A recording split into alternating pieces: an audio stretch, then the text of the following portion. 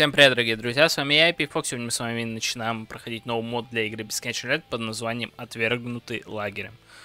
Перед началом ролика хочу пожелать всем приятного аппетита, кто кушает, всем приятнейшего просмотра, мы с вами начинаем. Дисклеймер, данный мод не имеет цели оскорбить или задеть чьи-то чувства, не пропагандирует и не призывает к... Ну, ну, никто так не умеет быстро читать. Ну, про себя максимум что. Да и то это слишком э, большой объем текста, чтобы прочитать его за 5-10 секунд. У каждой истории есть начало и конец. Почти у каждой. Когда я думал, что моя история бесконечна, как и это чертово лето. Я Макс, учусь на втором курсе колледжа. Предположительно, часть своей жизни я провел в гордом одиночестве из-за судьбы или у меня самого почти никогда не было друзей. Когда-то в детстве, может быть, и были, но сейчас э, все иначе. Было пару неудачных опытов близкого общения с противоположным полом, хотя бы с родителями повезло. Они в мою жизнь не сильно, не, не сильно вмешиваются, за что я им очень благодарен. Конечно, из одиночества я замкнулся и стал э, много времени проводить дома. Большую часть времени я проводил в телефоне, как-то раз наткнулся на визуальную новеллу «Бесконечный лет». С первых строк я втянулся в эту игру. На протяжении двух лет я каждую ночь погружался в эту летнюю атмосферу, я перепрошел несколько десятков модов, и мне не надоедало. Мне было очень близко положение главного героя, мне нравилась идея о втором шансе для человека, и, конечно, я мечтал его получить. Тоже попасть в совенок. Я верил, что если попаду туда, то моя жизнь изменится к лучшему, а я наконец обрету счастье. А как известно, желание имеет свойство сбываться. Зимний вечер я возвращался домой с учебы, думая о скором экзамене. Мокрый снег падал мне на лицо, и, как специально, я оделся очень легко для такой погоды. А еще хотелось есть. Расстроенный всеми своими маленькими проблемами, я сел на автобусную остановку. Раньше автобус ходил каждые 15 минут, но сейчас он сильно задерживался. Спустя полчаса я решил посмотреть расписание автобусов на телефоне но когда попытался его включить, то понял, что села зарядка. Постепенно все люди, которые стояли на остановке, ушли. По-прежнему ждал автобус, так как до дома было очень далеко. Спустя час я не выдержал и закричал. «Да где же этот чертов автобус?» Нихуя подъехал, получается. В ту же секунду подъехал старый Икарус. Я не успел разглядеть его номер, так как мне было уже все равно, куда заходить. Зайдя внутрь, я ухмыльнулся. Людей нет, автобус старый, номер я не знаю. Неужели это тот самый карус из бесконечного лета? Ну тогда вперед, совенок.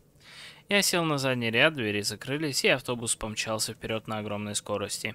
Меня начало клонить сон, я испугался, потому что раньше никогда не мог уснуть в транспорте, но тут мои глаза уже сами по себе закрылись.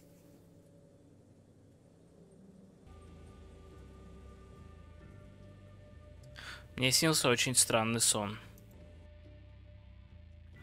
Я лежал. Или сидел. Или падал. Совсем не помню. Помню только то, что какой-то голос кажется женский. «Ты пойдешь со мной?»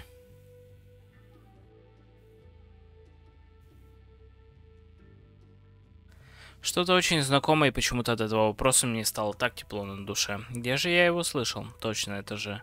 Конец предложения я почему-то выкрикнул. «Юля?» Хм, этого не должно быть. Почувствовав резкий толчок, я начал падать в какую-то бездну, медленно погружаясь во мрак.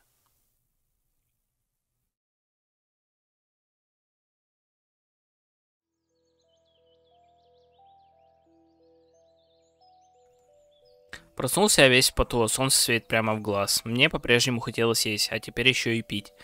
Проснувшись окончательно, я понял, что все еще сижу в автобусе, вот только уже в другом. На автомате я достал телефон, но потом вспомнил, что у него села батарея. Посмотрев в окно и осознав, что на улице лето, я начал паниковать, руки затряслись, а в голове было множество мыслей.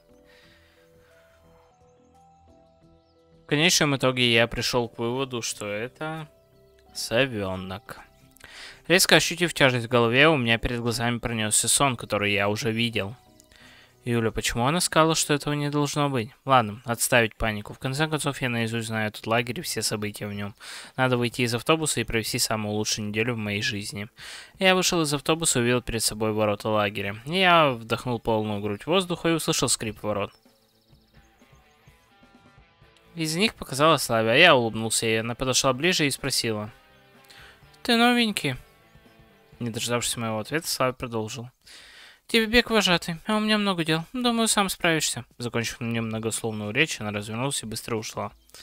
Очень приятно, а я Макс. Сказать, что я офигел, ничего не сказать. Славе самая доброжелательная и всегда готова помочь всем пионеркам, но напомнила она мне больше своим поведением Алису. Кстати, Алиса не такая грубая на самом деле.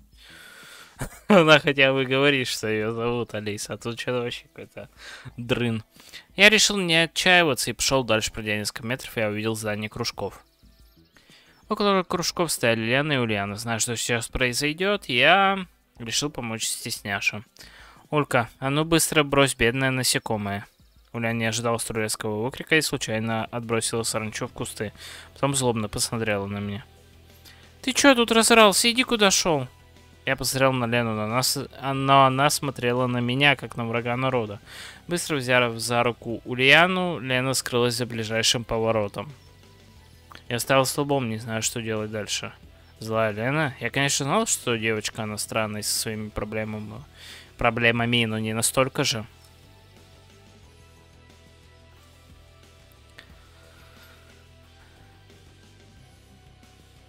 Ульяна шкодливая пионерка. Она скорее забросала бы меня вопросами, чем просто накричала. Видимо, в этом лагере мне не рада. Я встал со ступенек и пошел дальше. Пройдя метров 30, совсем забыв про Алису, мне прилетел удар, ее удар по спине. Обернувшись, я улыбнулся. Хоть, хоть что-то происходит, как должно. Че улыбишься? Понравилось? Извини, Мак, э, тут меня резко оборвали. Да мне как-то плевать, кто ты. Своих дел полно. Пока я анализировал произошедшее, Алиса ушла. Алис всегда так себя вела, не очень дружелюбно. В этот раз она превзошла сама себя. Спустя некоторое время все же дошел до домика вожатый. Я... Дверь домика тихо открылась, и оттуда вышла Лена. Она снова бросила на меня гневный взгляд и убежала. Сразу за ней вышла Ольга Дмитриевна. Ты, наверное, Семен? Нет, я Максим. А, ну да, ладно. Форму найдешь на складе, вот ключи. Большой от склада, маленький от дома. Твой домик 31, да и живешь ты один. Ладно, у меня много дел, так что я побежала. Хорошо, где склад? Ольга проигнорировала мой вопрос и быстро убежала. Да, к сожалению, я помню, где домик. Но вот про склад я почему-то забыл. Ладно, попробую разобраться сам. Я вышел на площадь и стал выискивать, кто бы мне мог помочь. К сожалению или к счастью, я видел только электроника. И быстро подошел к нему, пока он от меня не убежал. Привет, не подскажешь, где у вас склад? Прости, я очень спешу. Он уже начал уходить, но быстро схватил его руку. Слушай, просто скажи, в каком направлении. А то я тут до вечера буду стоять. Электроник махнул куда-то в сторону, в сторону столовой и убежал. И на том спасибо. Я побрел в сторону столовой, но тут прозвучал горный ужин. Да что ж такое? Есть хочется, но если я пойду в столовую без формы, то жадко докопаться. Хм. Все же с Ольгой сталкиваться не хочется, да и после еды ходить неохота. Вскоре я дошел до склада, открыл его и вошел. Внутри царил полный бардак, поэтому найти форму было задачей не из простых. Спустя минут 10 я нашел подходящую по размеру, оделся и вышел. Так, а теперь наконец-то можно и покушать. Я с довольным видом пошел в столовую и был уверен, что мой знакомый прием пищи уже ничего не испортит. Да-да. Зайдя в столовую, понял, как сильно ошибся. Здесь не осталось ни одного свободного места. Все-таки долговато я с формой возился. Я взял поднос с едой и, не придумав ничего лучше, вышел на крыльцо. Там я там относительно удобно расположился на скамейке и начал свою трапезу. Многие проходящие пионеры бросали на меня недоуменные взгляды, но мне было все равно. Вдруг двери столовой открылись, и из них вышла Уда. «Семен, а ты чего тут ешь?» «Я Максим. А тут ем бы, в столовой мест не было». Так рядом со мной было одно свободное место. Сел бы туда. Извините, я не заметил. Я подумал, что уж лучше буду есть на улице, чем компания вожатый, которая моего имени запомнить не может. Ладно, в следующий раз будь внимательней и не забудь сегодня зайти ко мне еще раз. Хорошо. Ольга ушла в сторону площади, и остался доедать свой ужин. Закончив трапезу, отнес посуду в столовую и подумал, куда отправиться дальше. Пока я шел в неизвестном направлении, ноги сами вывели меня в лес. Я подумал, что это отличное место, чтобы проанализировать мое положение.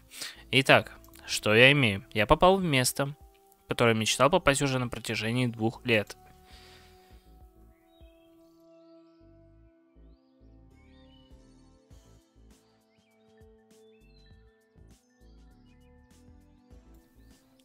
Но тут меня встречают не с распростертыми объятиями, а на отвали даже с каким-то негативом.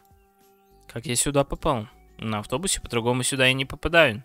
Что же еще? Точно, Юля.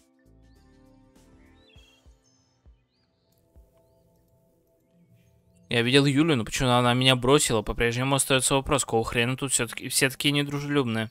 Думаю, на него способна ответить только Юля. Из-за этого все выходит, что я должен, нет, обязан найти ее. После размышлений прогулки в лесу я подумал, что пора бы уже зайти к Ольге. Не знаю, что от меня нужно, но надеюсь, ничего серьезного. Где-то через 15 минут я дошел до домика вожатой, никакого желания заходить туда у меня не было, но все же я постучался. Открыто. Я вошел в логово вожатой. Здравствуйте еще раз. Вы что-то хотели? Привет, э Максим. Да, Максим. Вот твои мыльные принадлежности. И не забудь, что завтра в 8 утра будет линейка. Да, хорошо, спасибо. Доброй ночи. Быстро проговорил я и скорее вышел из этого страшного места. Ольга кинула мне что-то вслед, но я ее уже не услышал. И я уставший пошел в свой домик. Как оказалось, мой домик сами крайне, так еще и рядом с лесной тропкой, которая ведет в старый лагерь. На первый взгляд он был неухоженный, но зато внутри он был такой же неухоженный. Старая краска снаружи, старая мебель внутри, весь домик был старым.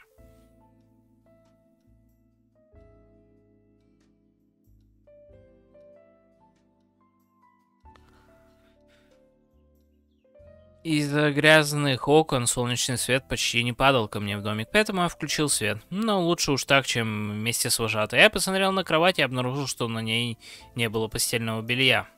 Черт. Спать в форме идея не лучше, но за бельем идти так лень. Да и... Как же я попаду на склад? Тут я вспомнил про ключ от склада, который забыл отдать Ольге. Ладно, сейчас быстро сбегу на склад, завтра отдам ключ Ольге. Только бы мне никто не помешал. Я все время спотыкаюсь на ровном месте, когда шел до склада. Я зашел внутрь, взял белье, уже собирался уходить, но послышал дверной скрип. «Кто здесь?» Я думал спрятаться, чтобы избежать разговора, и уже стал пятиться назад, но подо мной скрипнула доска. Я быстро направился в мою сторону. Я уже понял, что никуда не денусь, поэтому решил выйти. «Привет снова. Что ты тут делаешь? Как ты сюда попал? Это взлом и воровство. Я вожатый расскажу». «Подожди.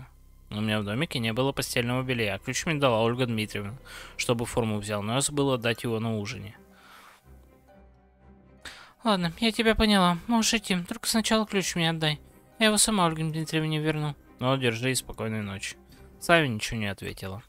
Выйдя на улицу, окончательно понял, что обитатели лагеря настроены ко мне не очень дружелюбно. Я расстроен тем, что моими мечте о лучших семи днях в лагере сбыться не суждено, я постарался как можно быстрее дойти до своего домика. Я заправил постель, закинул в шкаф свои мыльно-рыльные принадлежности и завел будильник. Выключил свет, снял форму и плюхнулся на кровать. Стараясь не думать о том, что я, судя по всему, полный неудачник, расслабился и вскоре уснул.